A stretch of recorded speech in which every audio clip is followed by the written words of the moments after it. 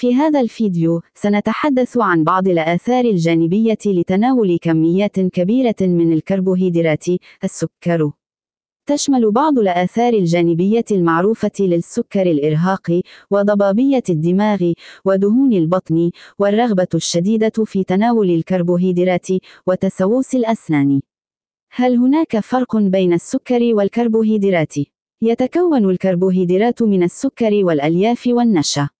تسمى النشويات بالبوليساكاريدات أي العديد من السكريات أو جزيئات السكر المتصلة معًا. ترفع النشويات مستويات السكر في الدم بشكل أكبر بكثير من السكر. 1. تقليل إنتاج الكولاجين. تناول كميات زائدة من السكر يقلل من إنتاج الكولاجين. يؤدي ذلك إلى ترهل الجلد وظهور التجاعيد والشيخوخة المبكرة. 2. لسان أبيض مزمن. يمكن أن يشير اللسان الأبيض المستمر إلى فرط نمو الفطريات الكانديدا. تزدهر الكانديدا على السكريات البسيطة وتتطلب التخلص من السكر لإدارتها. 3. مشاكل الجيوب الأنفية المزمنة. غالبا ما تكون مشاكل الجيوب الأنفية ناجمة عن فطر الأسبرجلز الذي يتغذى على السكر. يجب التخلص من السكر لحل التهابات الجيوب الأنفية المزمنة. 4. لثة حمراء أو وردية. رؤية اللون الوردي على فرشاة الأسنان عند التفريش قد تشير إلى شكل خفيف من الإسقربوط. السكر يمنع امتصاص فيتامين سي، ممن يؤدي إلى نقص الفيتامينات الذي يؤثر على اللثة. 5. انخفاض هرمون التستوستيرون. استهلاك السكر بكميات كبيرة يخفض مستويات هرمون التستوستيرون. يمكن أن يؤدي ذلك إلى ضعف الانتصاب، وانخفاض الرغبة الجنسية، وصعوبة في بناء العضلات.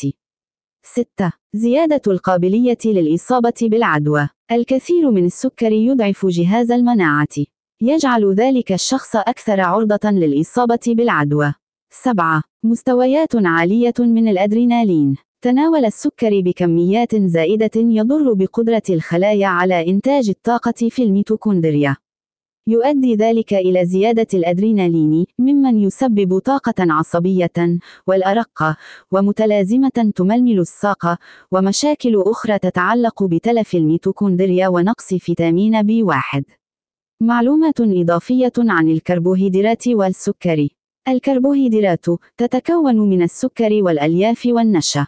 النشا هو سكر مخفي، وهو مجرد العديد من جزيئات السكر المتصلة معًا، البوليساكاريدات.